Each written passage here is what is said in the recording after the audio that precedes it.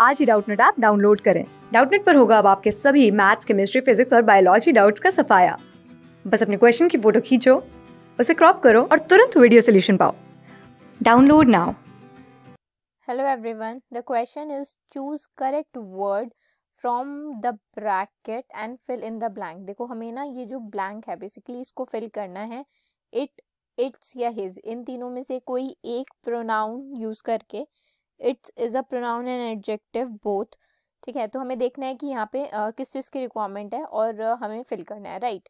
तो पहले हम ना हम प्रोनाउन की बात कर लेते हैं। प्रोनाउन क्या होता है? देखो यहाँ पे ना नाउन लिखा हुआ आ रहा है। तो आप कह सकते हो एक ऐसा वर्ड एक ऐसा शब्द जो नाउन की जगह यूज़ होता हो उसे हम प्रोनाउन कहते हैं राइट?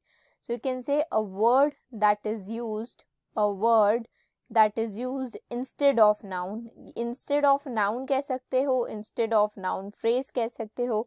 एक ऐसा शब्द, एक ऐसा वर्ड जो नाउन या नाउन फ्रेज की जगह हो यूज़ होता हो, उसे हम प्रोनाउन कह देते हैं। We have three person pronoun right we have first person pronoun, that is i and b. We have second person pronoun, that is you.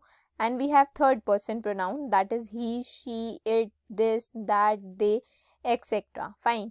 तो ये तो बात हो गई प्रोनाउन की। अब सेंटेंस पढ़ते हैं और देखते हैं हमें आ, कौन से प्रोनाउन या की ज़रूरत है या फिर एक एडजेक्टिव की ज़रूरत है।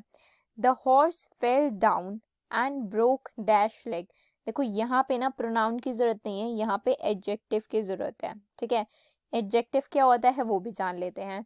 एडजेक्टिव एक वर्ड होता है जो मॉडिफाई करता है नाउन को या नाउन फ्रेज को ठीक है?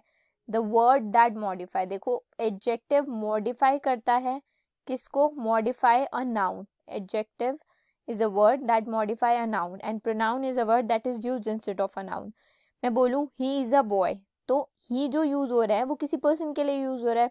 जैसे मैं बोलूँ Ram is is good right और राम इज़ गुड के बाद मैं बोलूँ फुल स्टॉप लगा के नेक्स्ट सेंटेंस में लिखूँ ही इज़ अ बॉय तो ही किसके लिए यूज़ हुआ? राम के लिए।